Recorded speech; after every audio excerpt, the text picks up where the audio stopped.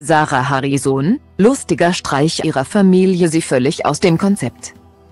Sarah Harrison, 31, und ihr Ehemann Dominik Harrison, 31, leben mit ihren zwei Kindern Mia Rose, 5, und Kayla, 2, im sonnigen Dubai. Das ist der glücklichen Familie dort sehr gut zu gefallen scheint. Zeigen sie mit regelmäßigen Einblicken auf Instagram.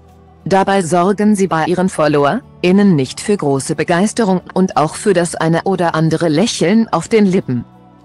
Mit sichtlich guter Laune wendet sich Sarah Harrison an ihre Fans und möchte tolle Neuigkeiten verkünden. Doch leider kommt alles anders als ursprünglich geplant. Erst wird sie von ihrer jüngsten Tochter unterbrochen und dann erlaubt sich Dominik auch noch einen besonders effektiven Scherz.